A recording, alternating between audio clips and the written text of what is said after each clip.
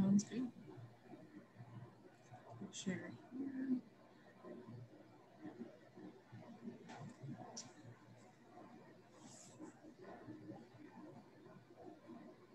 All right, so welcome everyone. Um, it's great to have you all. I know that you all are incredibly busy and appreciate you taking time out of your schedule to attend the supplemental training today. Um, so today we'll be hearing from speakers at a couple of different state agencies about some of the foundational state climate policies that shape or frame a lot of the following subsequent policies and programs that the state has enacted around climate action. Um, do want to say that this is just the first of these trainings. We'll be able to engage in these topics more down the line. Um, and we're hoping that this session can just help to lay some of the foundation for you as we dig into some of those programs and policies in more depth later on. So our speakers for today are from the California Air Resources Board and the Governor's Office of Planning and Research we have Christina and Anna. If you guys want to wave really quickly just to so folks see who you are. Great. And then from the Governor's Office of Planning and Research, we have Juliet Finzi Hart from the climate team. Juliet, I think I saw you. If you want to wave, so folks see who you are. And then we also have Egon Terplan from the planning team and Regions Rise Together initiative, who will be joining at about the halfway mark. So today, um, this is our agenda. Obviously, I am opening up with the welcome and objectives. Um, then we will have Christina and Anna covering some of the work that they do around um, cap and trade and the fourth investment plan. And then Juliet will be covering some of the work that she does around climate adaptation, resilience, and mitigation um, at OPR. And Egon then will go on to talk about the SB 375 process um, some of the partners involved in that regional planning aimed at reducing greenhouse gas emissions through land use decisions. Um, and then, was that? Okay, then we'll Sorry. have, no, all good. Um, then we'll have a little bit of time for discussion at the end. Um, all that being said, if our agenda, like I know that this is we probably could spend two hours on each of these topics easily um, going over them. So I know there will be a lot of questions, um, a lot more discussion that we'll want to have. So I think that we can take questions after each one. If we end up stretching each presenter's time a little bit, I think that's fine. We can just nix the discussion time at the end. Um, and in order to make sure we can get to everybody's questions, um, if you can enter them into the chat while uh, they are being, while the presentations are going on, or email us afterwards, we can coordinate with the presenters to make sure that we get all those questions and then we can um, get those answers back to you and not have anybody kind of left off. So um, the policies covered today might provide, we're hoping, some framing for what local and regional governments are responding to in terms of the state's mandates, incentives, suggestions around approaching climate. Um, we think this could be important because you, through your work, are responding to community needs. Local and regional governments are responding to what the state is requiring. So this might be the start of an opportunity for you to be able to translate community needs through some of those state requirements to kind of make that case to local and regional governments. Um, additionally, in some of your initial meetings on CNAs that we've had so far, some of you have expressed interest in using your CNA to help spur development of a climate action plan or an update to the general plan or a specific element of it. And this, along with future sessions, might help you get a sense of a few of those policies that you can use. Um, I think then with that, here's some topics to consider. I'm so sorry, my cat is like really, really trying to get on screen. Um, to think about as we go through the presentation. So much like the rest of the work we've been doing, opportunities for new partnerships that kind of come up during the presentations that could help you advance your community's goals, opportunities for you, your org, or partners on the ground to engage in some of these statewide and regional policy processes, um, thinking about your experience engaging on these topics in the past on any level, and then identifying connections between these policies and action being taken locally, whether you see alignment or not, and just kind of reflecting on that. So I think with that, I will stop there and we can pass it over to Christina and Anna. Um, one last thing, actually, if you all want to um, just drop your name in the chat um, along with your organization, anything to introduce yourself, that might be nice so the presenters can get a little bit of sense of who you are and where you're coming from. Coral, we already beat you to it. Well, that is great.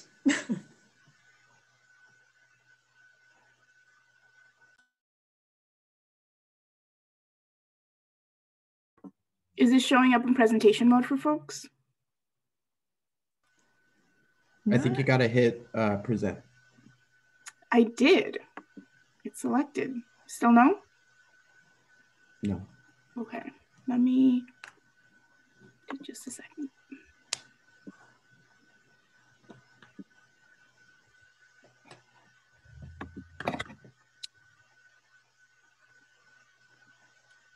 There you go. Yeah? yeah. Okay. Great. Um, well, hi everyone. As Coral mentioned, uh, my name is Cristina Echeverria, and we I will be presenting along with my colleague Anna Scudell, um, who should be one of these face boxes here. I'm not sure if she's waving. I can't see her face box at the moment, but I'm really excited to get to join today and speak to you all, um, and mostly really excited to meet you.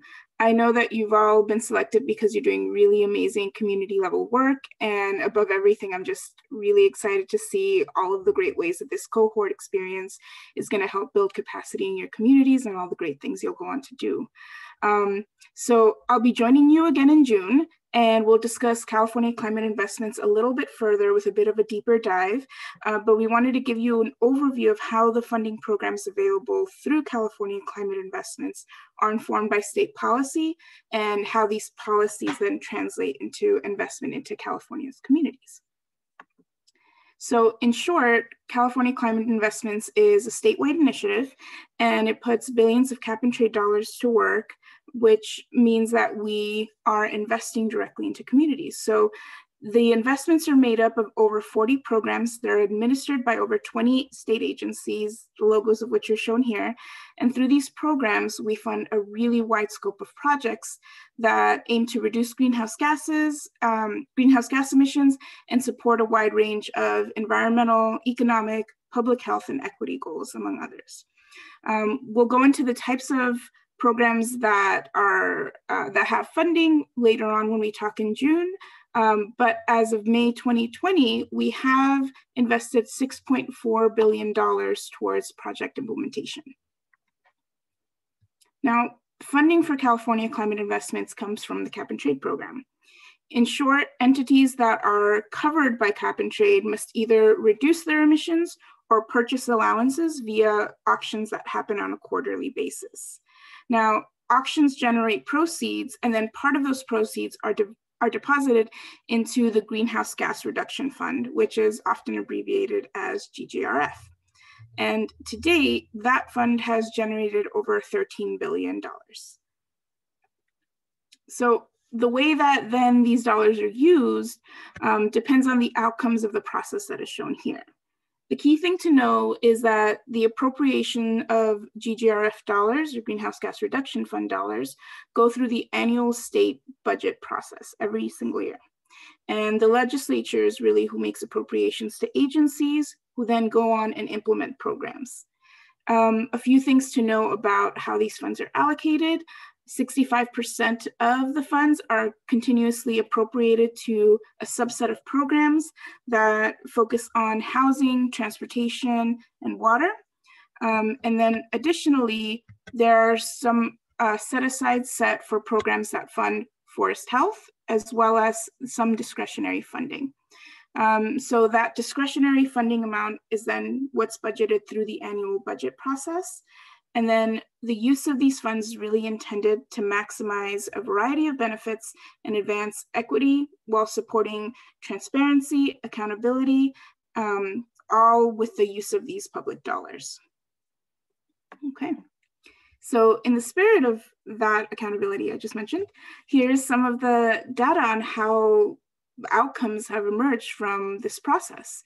Um, this is how the money has been used. You'll see here that the projects range from land preservation and restoration to transit service addition and expansion um, to zero emission plug-in vehicle rebates. Now, over 4,560,000 individual projects have been implemented, and these individual projects cover a wide range of project types, and these projects are proposed directly by local governments, community organizations, tribal governments, and a whole collection of other entities. Um, in short, California Climate Investments funds zero emission vehicles, equipment and transit, active transportation, affordable housing, urban greening, renewable energy, um, energy efficiency, recycling and composting, forest health, fire prevention, coastal planning, research, workforce development, and a ton more. Um, and then a specific point that we really um, prioritize is really this piece right here. Um, so I really want to point out the funding that goes to benefit priority populations. Now, Priority populations is defined as disadvantaged communities as well as low income communities. Um, and we have statutory minimums that require that 35% of the funds go directly to those communities. To date, well, as of May 2020, um, and new data will be coming out shortly. Um, but as of May 2020, the percentage that's actually been invested into these priority populations, which again are what we consider disadvantaged or low income communities based off of CalEnviroScreen, um, that percentage is actually 55%. So we've been over, um, or not over, but we've been able to invest higher than what the statutory minimum is, but um, this also comes with the asterisk that yes, we are higher than the statutory minimum, but we're consistently and constantly seeking ways to make programs more accessible, to fund engagement and outreach to let communities know that the funding opportunities are available to them and to seek to really reach every area of the state that is categorized as either disadvantaged or low income. So 55% is higher than what we're obligated to do, but we're always making progress and we're always looking forward to input and hearing any suggestion folks have, which includes all of you. Um, so we welcome any and all suggestions that you all have.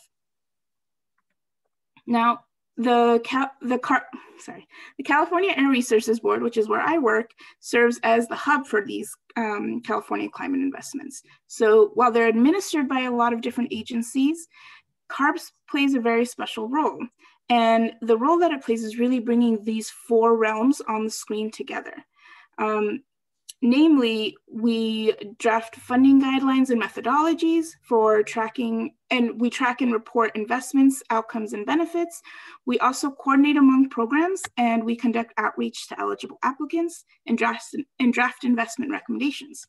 Now, I work largely on the coordination and engagement sphere over here which I'll share more about in June. But to tell us a little bit about the investment recommendation piece, here's Anna Scudell.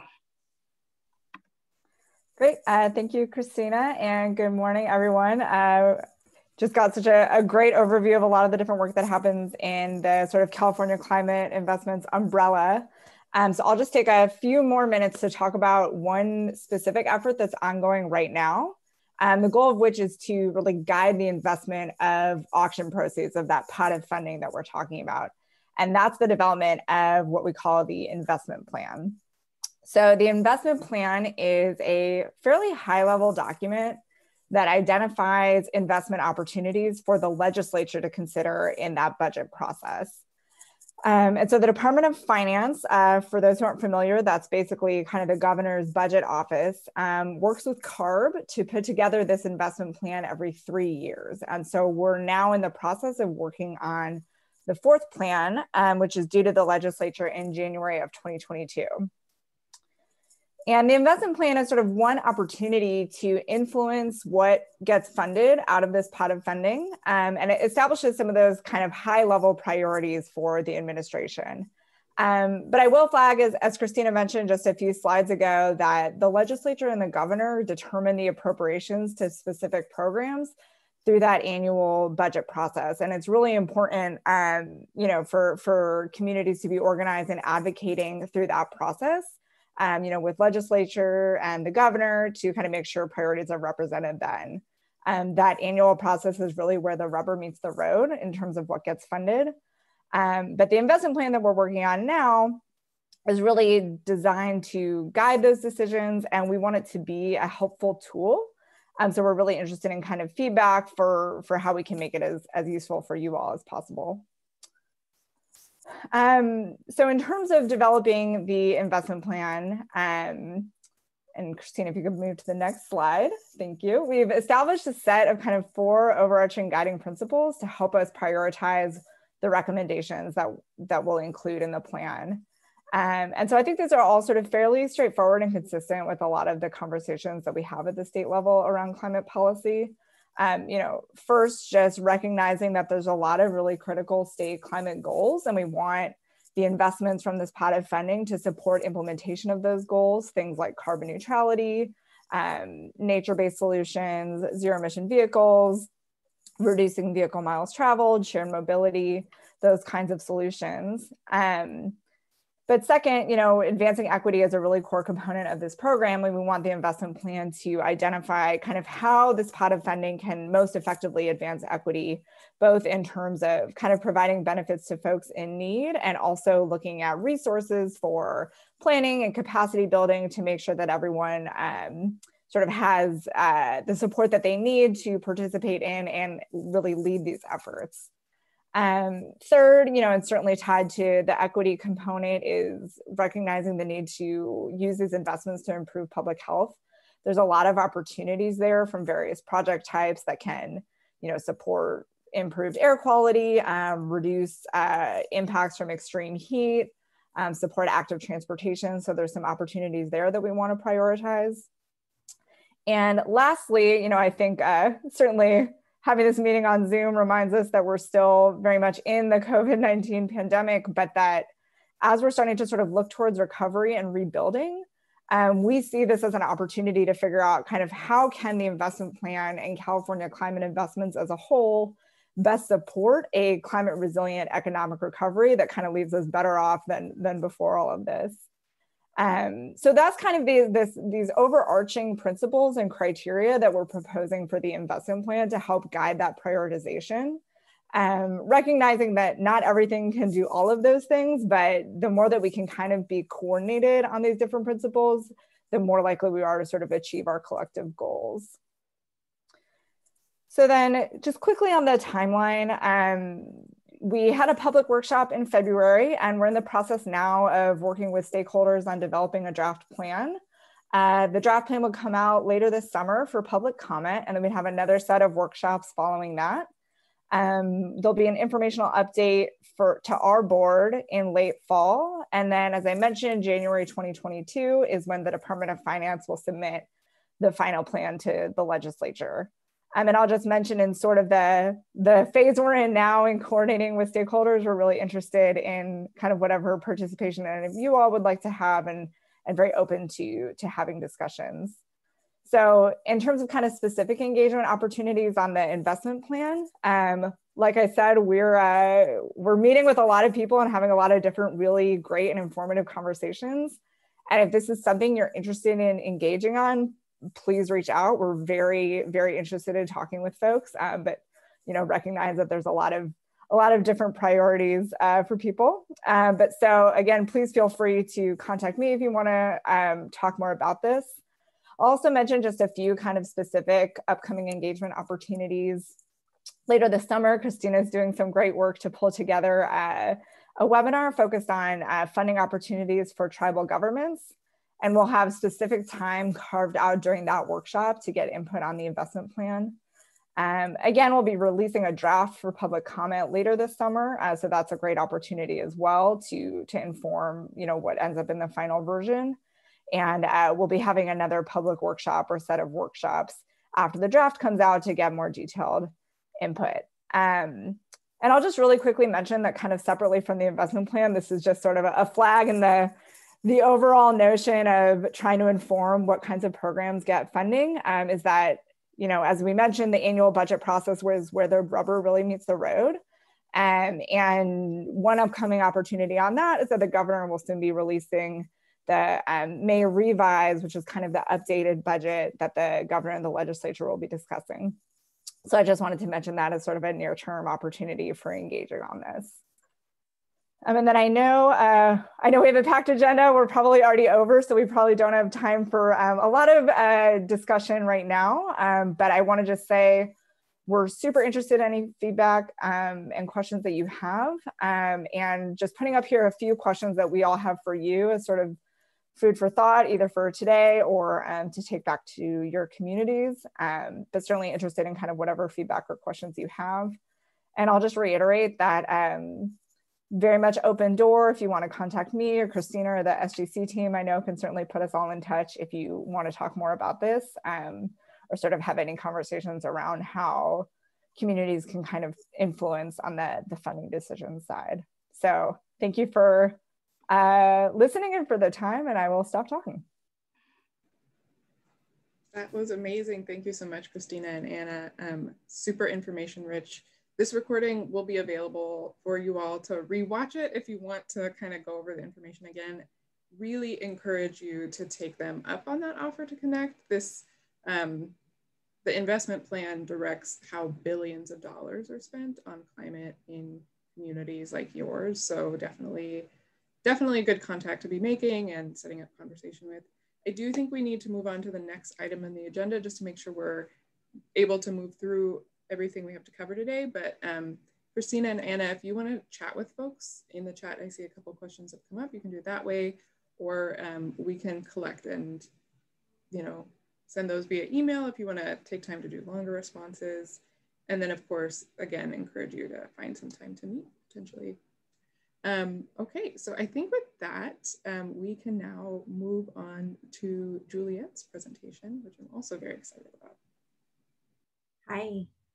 Good morning still. So it's still good morning. Um, uh, let me bring up my, I've learned I can't talk and like click. I will still try to do it, but I shouldn't. Okay, is my presentation showing? Yep. Okay, great.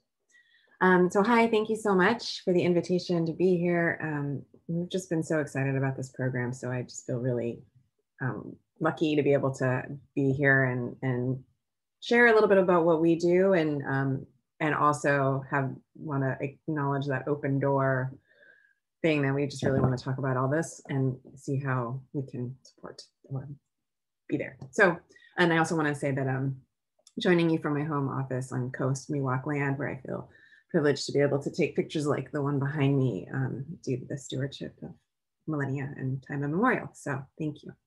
Um, okay, I am going to talk about the Integrated Climate Adaptation Resiliency Program.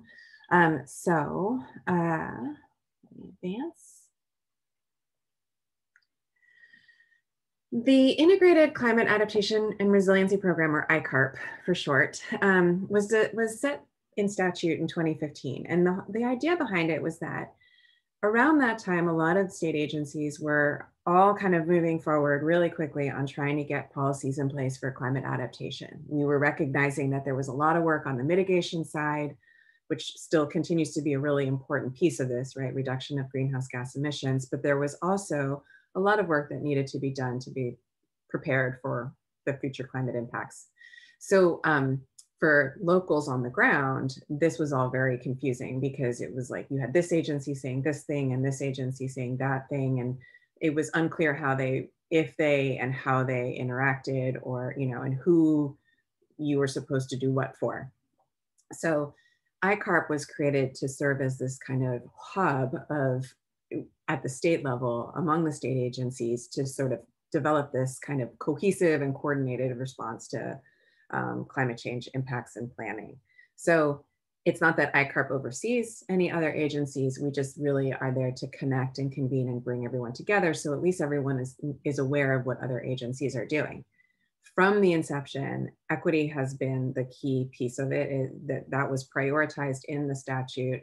And then also the importance of linking the greenhouse gas emissions projects to adaptation on the ground, because really the best adaptation strategy is you know, not having the emissions at the scale that they currently are going, right? And whatever we have to plan for is really driven by whatever we're emitting today.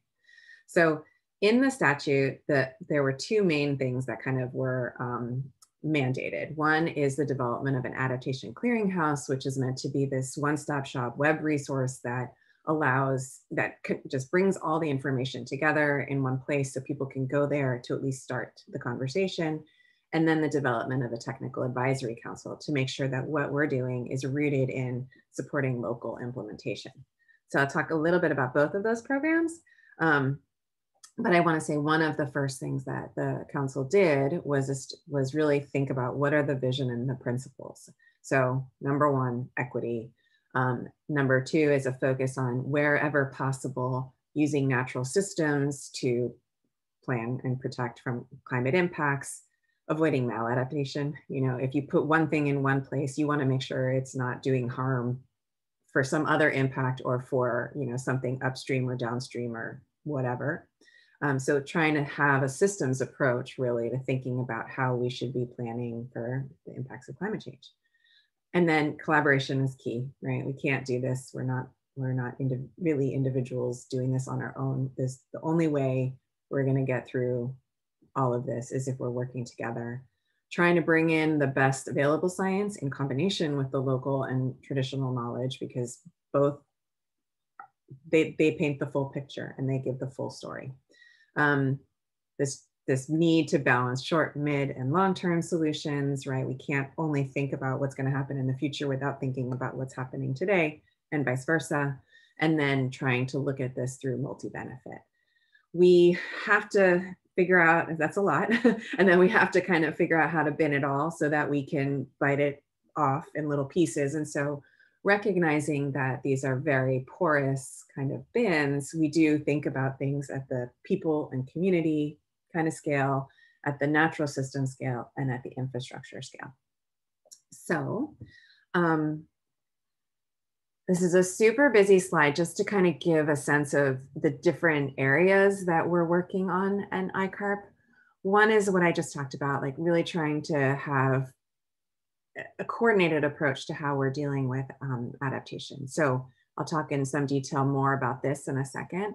There's also a finance piece, like we need to pay for all this. We need to make sure that what we're investing in is also doing no harm and at a minimum, not adding to the problem we, um, we need good science. Um, we need to be able to figure out how to incorporate local traditional knowledge with that science to have this really robust suite of information to guide our decision making.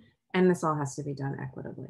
So there's a ton in there and there's not enough time to go into all of it, but I, and I know we're gonna have more presentations with all of you and conversations with all of you as we go. So I'll just touch on a few right now. And then um, so I'm getting distracted by the chat over there, but I'm gonna stay focused. So just so you know about our Technical Advisory Council. So actually I'm gonna flip to the people. Um, there are six state agencies. You only see five right now because um, our um, one of the, the people that was on here from Cal EPA got snatched by the Biden administration. So we're still replacing the EPA person, but we have six state agencies nine local and regional governments, and then representation from CBOs, research and private sector. So this would be one immediate way that all of you could be engaged or join if you're interested in the conversation, um, like basically immediately. This technical advisory council meets quarterly and those are public meetings. And this is really what this council does is help guide us at the state level to understand, okay, what is going on at the local implementation scale how are the policies that we're developing going to support that? And then um, what are the emerging issues and how can we then guide our, our policy development to reflect those? And I just wanted to highlight here Jacob Alvarez, who's from City of Coachella. Um, so Karina, I saw you noted there was a comment that you were from that area. He's he just gave a great presentation to you know the whole group on extreme heat, and so we really listen. The, these we love our council and it's a really engaged council and there's always really rich discussion.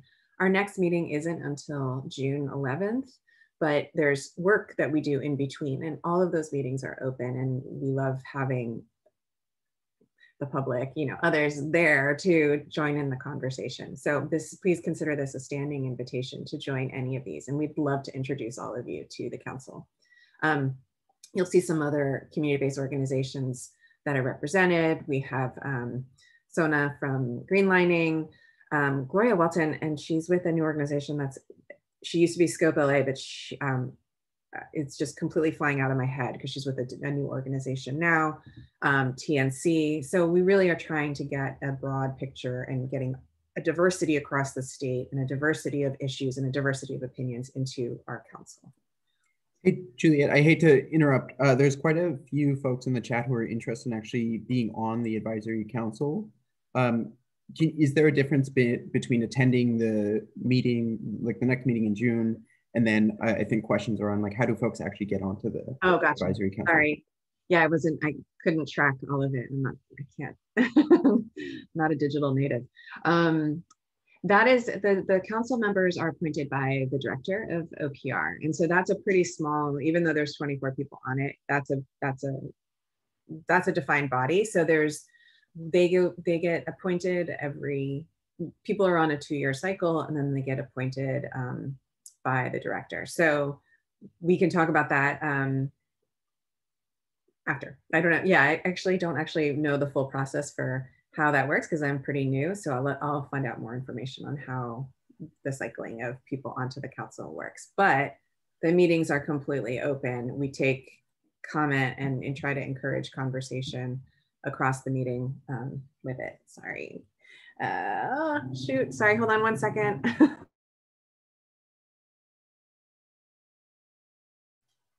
Uh, Fatima, OPR's director is Kate White. And um, for more context, uh, Kate Gordon. Oh my Gordon. God, Kate Gordon. Uh, thank you.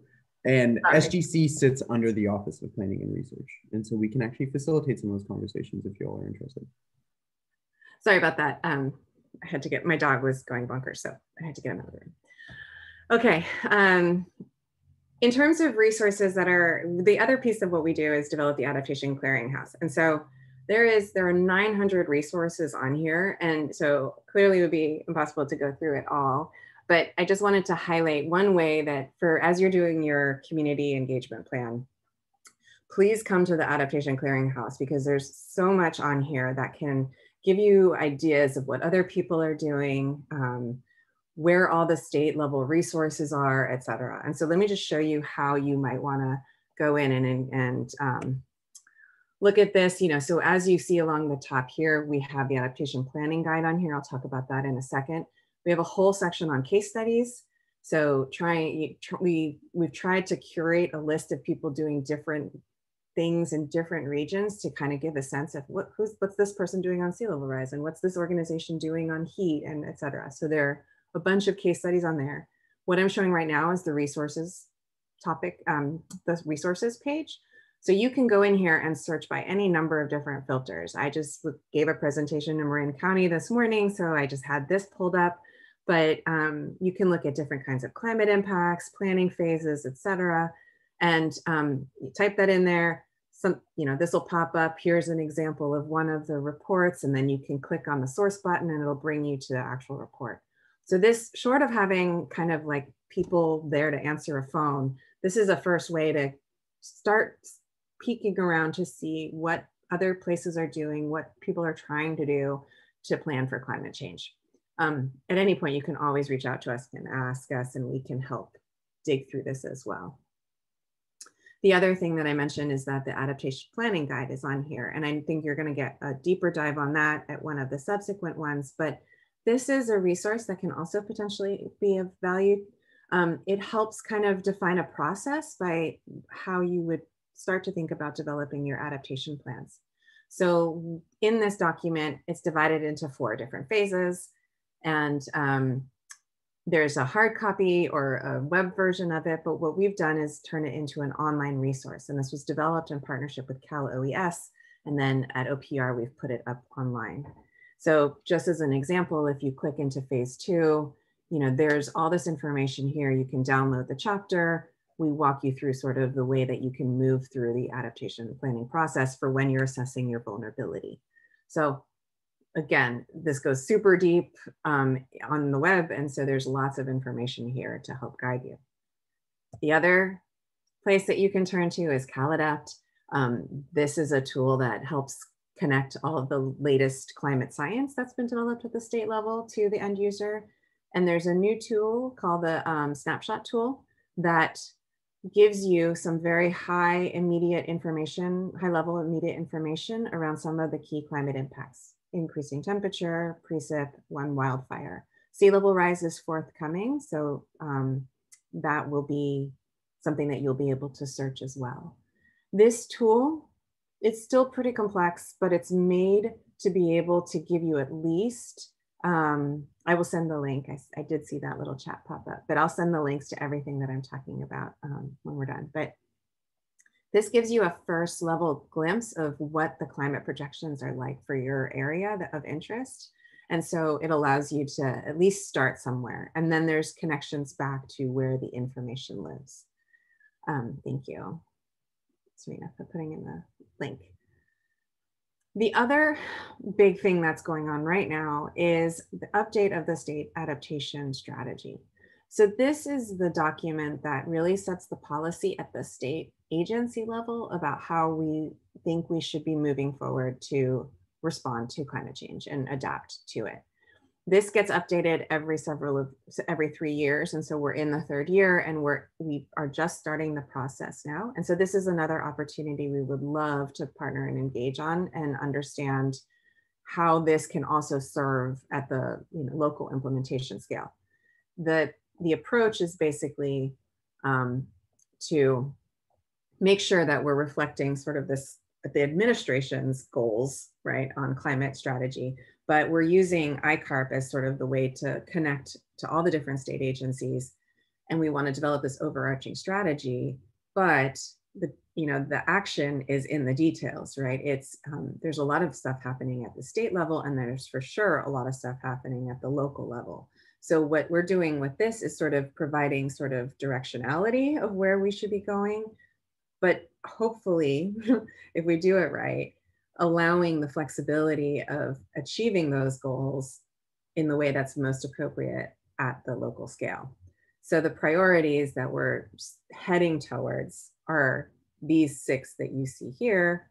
At the top of it, strengthening protections for climate vulnerable communities, um, protecting public health and safety in the event and also during chronic climate impacts, reducing risks to the economy, helping actually some of this wording is going to change because we've gotten some feedback on it, but accelerating nature-based solutions and trying to move forward on um, ecosystem restoration and preservation. And then of course, using climate science and doing all of this in partnership. So these are really broad. And so hopefully you see yourselves and your work in here, but we will be doing some stakeholder workshops in mid-May through mid-June that we really want to get that feedback. So that's another immediate place, time, and um, opportunity to really help shape this conversation as well. So um, that's the timeline. I'm going to stop there, but I'm happy to dig into more detail on any of this. I didn't want to go too long, although I think I may have already. Um, but just to say, all of this is just the, the starting point. We, um, we really want to have this be an engaged process. And so making sure that we're reflecting, we're, we're, you know, we're public servants. So we are here to support. I don't know. I don't know how else to say that. So um, we really want to make sure that what we're doing is reflective of what the need is. So I will stop there and happy to um, take any questions. I think that's, yeah, I love that. I love the conversation going on in the chat. I think those like big kind of mm, trying to use a different word than meaty. I feel like that's a weird word, but like kind of intensive topics um, that you might want to dig into more. I really encourage you to get in touch with Juliet to have those conversations. Similar to the investment plan, this is an opportunity to help direct the way the state is approaching climate adaptation for years to come. Um, and I think that this is a, you know, kind of a unique point we might not return to for a little while once the strategy gets set. So encourage you to um, keep in touch, set up time for conversations.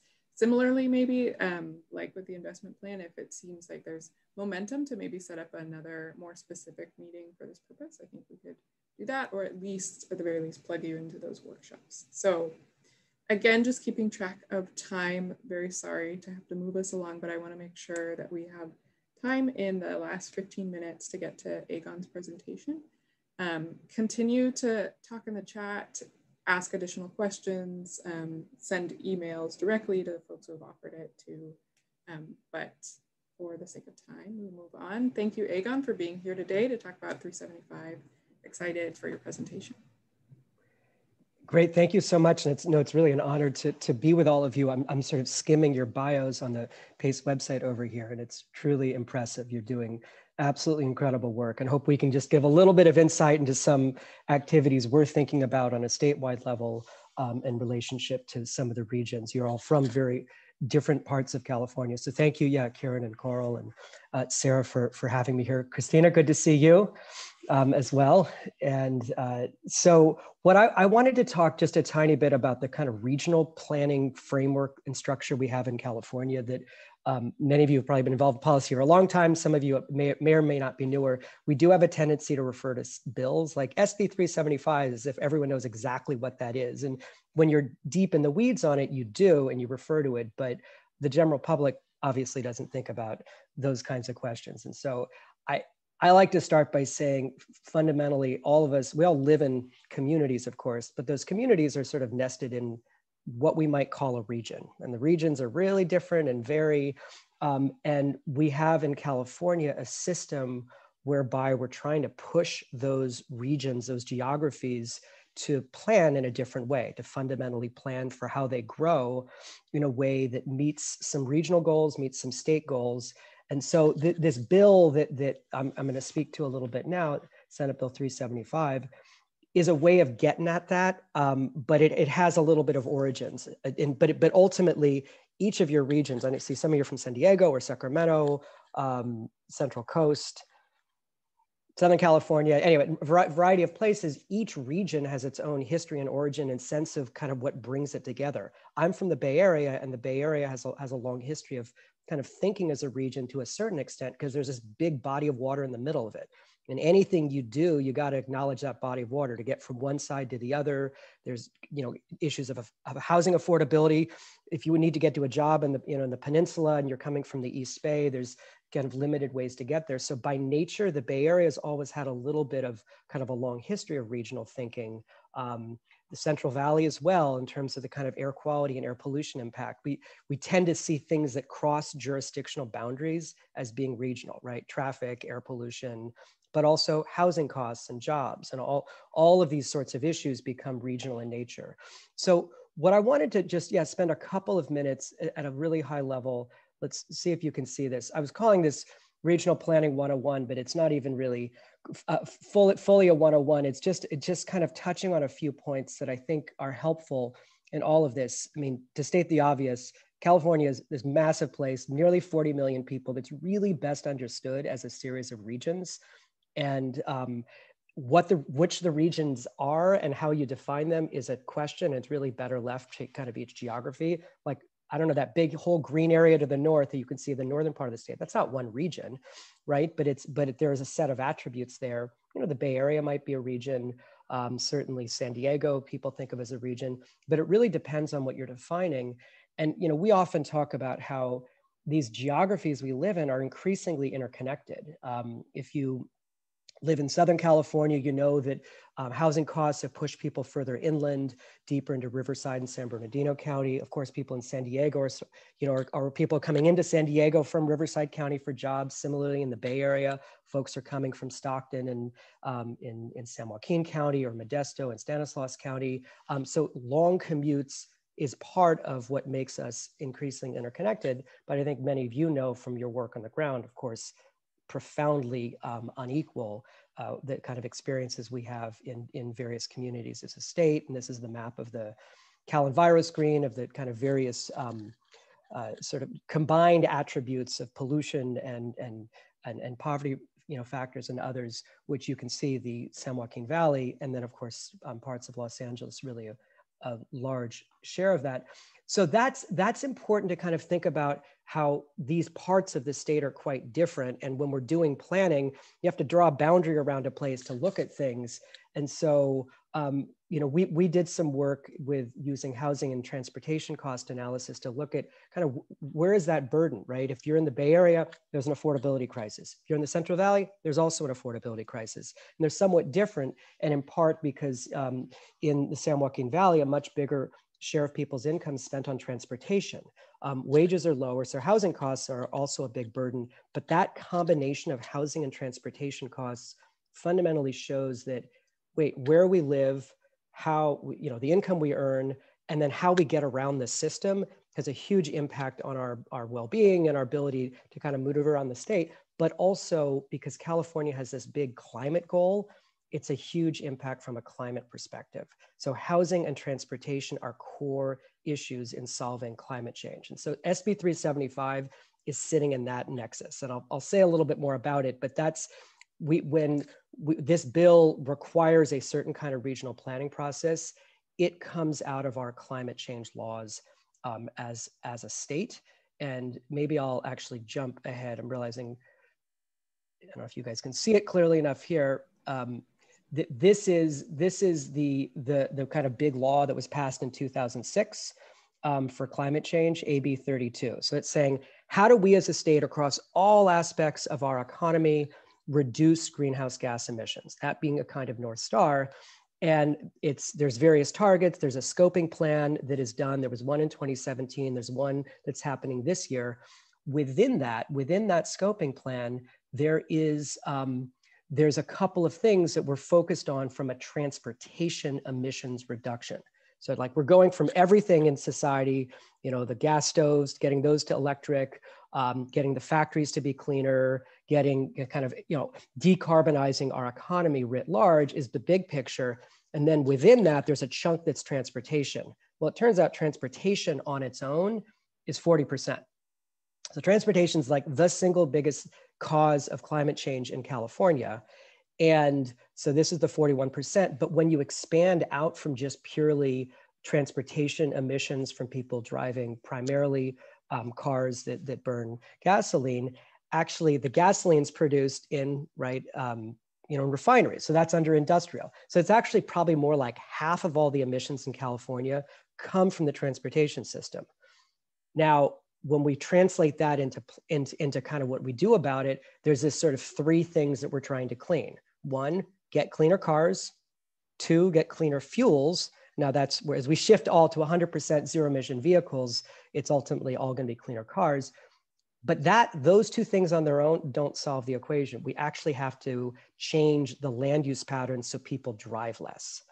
Now, this is where it starts to become difficult and complicated, and this is where SB 375 comes in, um, that we then have a structure whereby each of the metropolitan regions of California, so there's 18 of them, all these red geographies are the 18 metropolitan regions. So those of you who are in those blue areas on this map aren't in what's defined as a metropolitan planning organization geography. Um, there still is transportation funding, there still is land use development, all these issues still matter. It's just not subject to the regulatory structure of, of SB 375. Um, one of the things you'll see from this map is there's differently sized, right? Each of these in the San Joaquin Valley, every county, all eight counties are a separate region. The Bay Area is nine counties. Southern Cal, you know, SCAG is half the state, is 20 million people in those six counties. So very, very different places. Each one of these geographies, so you know, black lines, those you know, what white letter um, acronyms for those, for those councils of government is subject to meeting a per capita greenhouse gas reduction goal. So what they have to do is put together all of the transportation spending that they're going to do over a 30 year period, combine that with how much they're going to grow. So they're going to grow by a million people, half a million people, add those two things together in a model so they model this out and say, all right, if everyone's going to live in these places and we're going to have a transportation network, which is here's, here's the bus network, here's the, the light rail network, here's the highway network. The combination of those things leads to, leads to what? Are people going to be driving less? Are they going to be taking transit more? And we actually have to hit a target. These regions have to demonstrate that they're hitting a target where the average person is producing less greenhouse gas emissions. And the primary way they're getting less greenhouse gas emissions is by driving less, which is what we call vehicle miles traveled. So that's the, so you're gonna hear a bunch of acronyms. People say GHG, people say VMT, all this stuff. Ultimately, that's what it's about, of kind of planning a future where the average person doesn't have to um, doesn't have to drive as much because they have alternatives. Maybe they live in a community where they can walk to the grocery store instead of driving, or their school is nearby, or their job is on transit and they can take transit for some of those trips. Um, or we don't continue to build housing an hour and a half away from the existing community for affordability. And so we, we, we're, as a, as a region, a little bit more kind of, you know, close together. So that's the sort of kind of big idea. It's put together in what are called regional plans. I want to make just a couple of quick points. There's a lot more we can say about this. And so Kieran hey. and Coral, yeah, please. Oh, Egon, I was just gonna, I'm tracking the chat and oh, yeah. I I'd love to just direct you to a couple of themes of questions. Please. One around how about how SB 375 is both a framework for you know land use and transportation at the individual level, but also how it's addressing industry uh, you know, um, goods movement, things like that as a, you know, broader societal piece. And then also getting into land use, I think some folks were bringing up the fact that in addition to, you know, the transportation housing connection, um, well within our GHG scope is the need to address, you know, connections around food access, um, and, and, things like that. I know that's very broad buckets, but yeah, no, no, that's helpful. let me just maybe sort of make a make a, a, sort of broad point about that, which is that ultimately I'm focused on this GHG piece because that's the, that's the big lever the state has. A region is totally up to itself what it defines as the core goals of its regional plan. And so, for example, um, in San Diego or in the Bay Area or in any county, you can say we actually fundamentally care about equity we want to make sure that the, the transportation um, burden facing low-income households goes down over time. That's not a state goal, right? It's that's not you know you're not evaluated based on that, but a region can decide or food access, right? We want to make sure as we plan we're protecting our farmland, um, and then we're through that we're delivering some of the you know an economic development vision for for the agricultural land. A, an entire a region absolutely can put that in, and so in some ways regional planning is a is kind of a framework for all the jurisdictions and elected officials and community groups and, and folks to work together towards a common vision for your region. The state requires regions to do this with this GH with this greenhouse gas target and with a housing target. So I, I don't want to make this too you know, we, we get into it, but this is a diagram and I'm happy to share these slides and, and, there, and there's, there's a link. Um, I had some students build this out, but there's sort of two things we're trying to get regions to do, build enough housing and reduce greenhouse gas emissions. All of those other topics are totally, absolutely fundamentally important and are included. Um, goods movement, freight, and those issues, those are already spoken to to an extent in the transportation plan they're not spoken to very well, obviously, because we see massive impacts from trucks in existing communities and the huge pressure to convert actually residential land to warehouses. I know those of you that are out in the Inland, Empire are seeing that. So those are issues that are regional in nature, but the primary way we, we solve them, frankly, is local government zoning decisions. And our the kind of punchline to this whole point here, and this is just a map of the Bay Area, we can't meet these goals as, as, as a region or a state without the cooperation of all the local governments. So each local government kind of has its own ability to make decisions within its geography about zoning. Um, and the state's trying to push them on housing, um, but, but the levers that we have are, are, are far more limited. And we can, though, push a little bit on, on sort of where the transportation network goes, because that's that that is that tends to be much larger than individual jurisdiction. So, Karen, I know I didn't I didn't address a, a, a, a lot of those things. Um, I'm happy to address it any more. I wanted to make one sort of just final point that often comes up in these dialogues, which is why do we need to reduce um, why, why should we care about reducing driving if everyone drives an electric vehicle? right? This comes up a lot in these things. Like if the governor signed this thing, everyone's going to have to buy electric vehicles only after 2035. Well, it, it, turns out, and this this chart up here is basically showing we're actually not on track to meet these targets, right? We're not we're not moving in the right direction fast enough. Um, it, it turns out that if even if every new car is an electric vehicle in 2035, there's going to be a bunch of non-electric vehicles on the road for decades. So those are going to cause pollution, and so we actually care about those.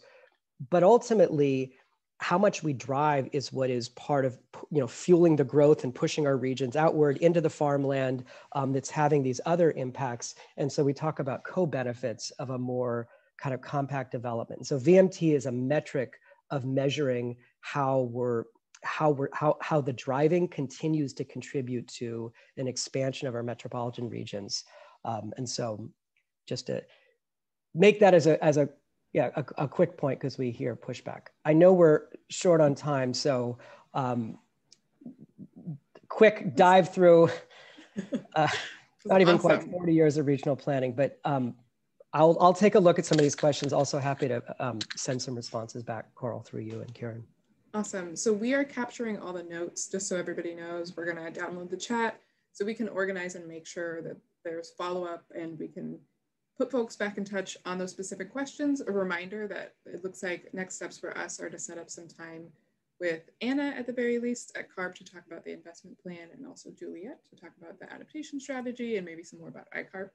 Um, and I think this was so exciting just reading what folks were saying in the chat about like, does regional planning really affect local neighborhoods and equity? And I think this is just the start of the conversation. I know you all have a lot of experience with this kind of work. So wanted to remind you, we're gonna have a climate planning 101 session down the line. And I think this information is really important to keep in mind. Like, okay, there's regional planning being done.